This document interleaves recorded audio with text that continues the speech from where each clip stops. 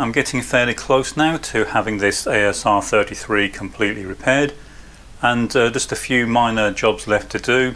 At the end of the last video I sorted out a problem where the machine was randomly printing rogue characters so that's now dealt with. It now prints 100% correctly from the keyboard and also from the serial input so I connected this through to a PC running a terminal program and I ran it for a while and it was uh, fine I didn't video that, I've shown that in a previous video in a previous restoration series. And that's now working fine. Uh, but I also have test tapes that I run through the machine and I run these for quite a long time. A machine like this that's been standing idle for decades tends to kind of bind up and even if you're very careful and clean it and lubricate it then once it's been run for three or four hours it will tend to settle down and change slightly and uh, certain faults might creep in that uh, need to be corrected and I like to make sure that uh, these are given the best possible chance of being reliable. Now what I found was although it's working hundred percent reliably with the keyboard and serial input when I was running the test tape through it and this particular tape just runs through the alphabet and uh, numeric digits over and over again and so what we have on the printer output is exactly that, running from A through Z and then 1 up to 9 and then 0 and then line feed, carriage return and it repeats. But if you look down here you'll see it was fine. This was about the fifth page I'd run through and we get down to this point and you see that things start to go wrong. But then it very consistently does the wrong thing. It's doing exactly the same thing every time. So instead of printing A, B, C, D, E, etc. It's printing I, J, K, D, E, F. It does that every time. Uh, again, the best thing to do in response to this is to look at the character set and uh, see what's uh, possibly going wrong.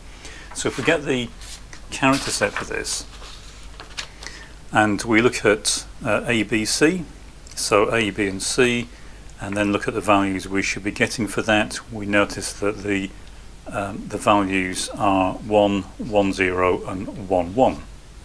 It's obviously in binary. Um, but if we then go down and look at what we're actually getting instead, which is i, j and k, if we look down here, we've got i, j and k. If we go across and look, we're actually getting exactly the same values. We're getting 1, 1, 0 and 1, 1, which is exactly the same as we should be getting for A, B and C. The only thing that's different is bit 4 for A, B and C it should be 0. With I, J and K it should be 1. So what seems to be happening here is we're getting an error in bit 4 and that's the bit that determines which direction to rotate the print head. So it's rotating the print head in the wrong direction. But it's only doing it when it's reading the paper tape. For everything else it's fine. So that would tend to indicate that the switch for bit 4 in the tape reader is either faulty and it's not making proper contact all the time, uh, or there's a fault in the wiring somewhere going through to the uh, main connector. So what we'll do is we'll get the test meter and we'll see if we can test the switches. Okay, so we've got the multimeter. I'll move the camera across so we can see this a bit better. So I'll take the negative lead of the test meter and I'll clip that onto the common connector for the switches which is there. What I can now do is take the, uh, the lead from the test meter and we can probe the individual switches. I need to operate the solenoid of course otherwise they'll all be open but when I operate the solenoid so I'll close that, it's now shut what we should get is continuity for any switches that are closed. And what I found was when I do this bit 4 is indeed showing a high resistance. So uh, it's just the switch contacts are still dirty. I did clean those in a previous video but um, as I said there was an awful lot of dirt and debris in this reader and although I cleaned it very carefully it looks like a bit of dirt has got onto the switch. It's very light to switch um, spring pressure on these. So I'll go back in, I'll clean it again and uh, see if that improves things at all. Once I've cleaned the contact on the tape reader, um, it started working fine, so it now reproduces exactly what's on the tape. I've run it through probably 10-15 times and it's fine. Um, the next thing I want to look at is actually a comment um, someone made and it relates to the layout of the punch and the tape reader. And they were saying that um, it's not very good design, it's uh, difficult to load the tape and uh, the punch tends to feed paper out and it uh, gets in the way of the reader. Um, this was actually intentional, that's exactly how it was intended to be designed. And uh, what you have to bear in mind is what this was originally designed for and it was a teletype, it was connected to a phone line and it was used for effectively sending emails. It's um, the, the, the, precursor to sending emails and so it was laid out like this um, with a, a, very good uh, reasoning behind it. So the way this was normally used is you would type out the message or the text you wanted to send but you would not be sending it as you typed it. You could do that if you wanted to but normally you wouldn't and um, you'd have the punch turned on. The punch will be punching what you type so you'd be in local mode.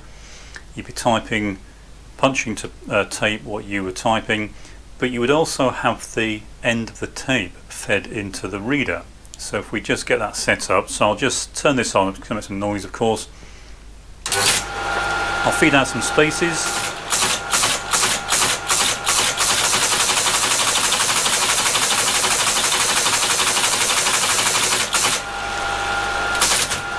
Okay, so I've got a whole, let's turn that off. So I've got some spaces on the uh, punch tape. What I can now do is put a small loop down feed that directly into the reader and we've got a small kind of buffer loop going down. Now this normally overhung the front of the um, the stand that it was bolted to and there was a big CHAD box um, that sat underneath the left hand side but towards the rear. That's why there's a tube on the CHAD outlet, it's to take the CHAD towards the rear of the machine because the front was used and that's why there's a cutout so down between the tape reader and the punch is a cutout and that's to allow tape to loop down into that space.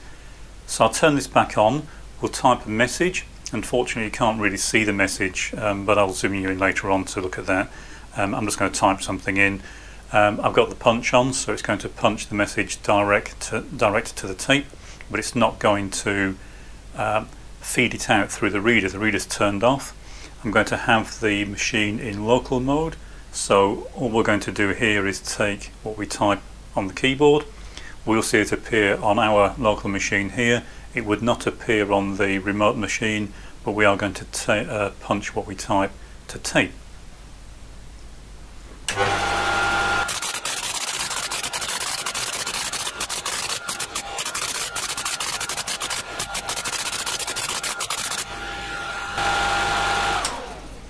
Okay, so I've typed the message I wanted to type. I can now read through it and check I haven't made any mistakes. If I have, I can type it again or make corrections. Um, but we've also now got this loop of tape hanging down between the punch and the tape reader. And what we can do now is turn the machine into remote mode, either duplex or half duplex, and whether we see what is being sent down the line will be dependent on whether we have half duplex or full duplex set but the point is that what we can then do once we've set the machine to remote mode using the switch is we can enable the tape reader and we will then send what we have just typed down the phone line to the remote machine. So in other words we've written our email We've now got it kind of buffered in memory on the tape and what we can do now is send that to the remote machine. I'm going to add a few spaces to the end.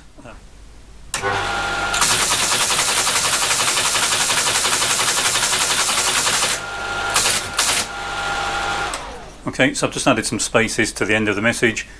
What I'm going to do now is turn this into remote mode. In fact, I'm going to put it back into local mode. I don't have this connected to anything um, so I can't send uh, remotely but we can simulate uh, remote mode I'll put it back into local I'll turn on the tape reader and then what appears on our printer here is what the remote machine would normally see.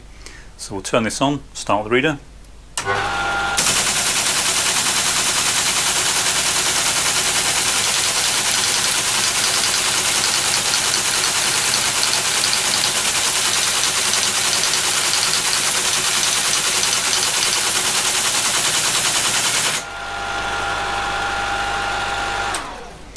Okay, and we've now sent our message out to the remote machine.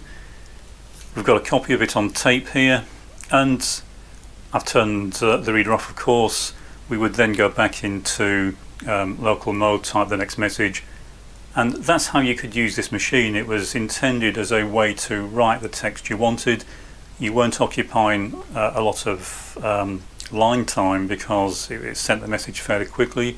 It wasn't relying on you to uh, type it very quickly. You could type it as slow as you wanted, put it into remote mode, and then send the message, and you were done. Uh, okay, so uh, that's why this um, the, the, punch and the reader is laid out the way it is. It's just meant to make life a lot easier uh, for the people operating the machines. And then, of course, you have a permanent record of the uh, the conversation or the message that was sent. I'll zoom you in so you can see the, the message as it was sent out and give you some idea as to the fact it just duplicates whatever you send. I didn't press line feed and um, new line before I started so it's uh, overwritten one of the characters.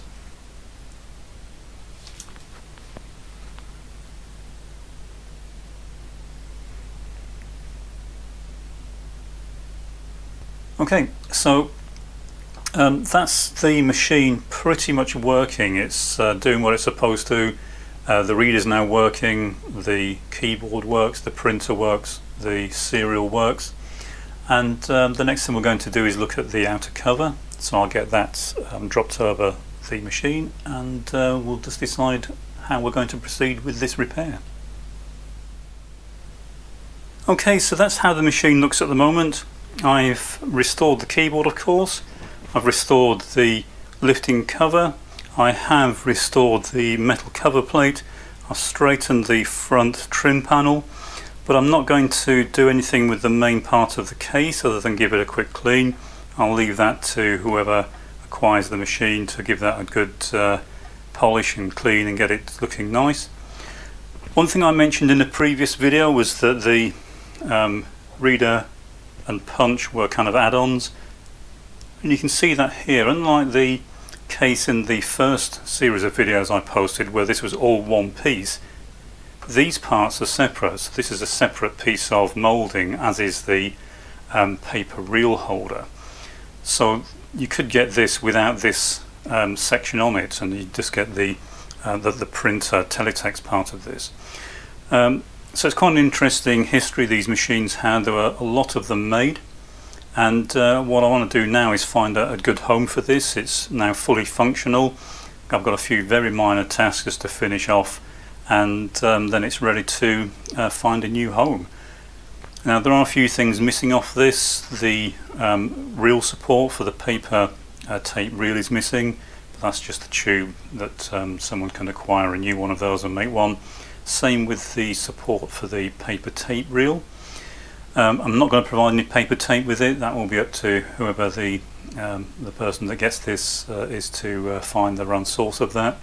Um, but I want to see this put to good use. So uh, once again, as I said at the beginning of this series, if you think you have a good use for this, um, I'm going to be giving this away for free to anyone in the UK that's willing to come and collect it.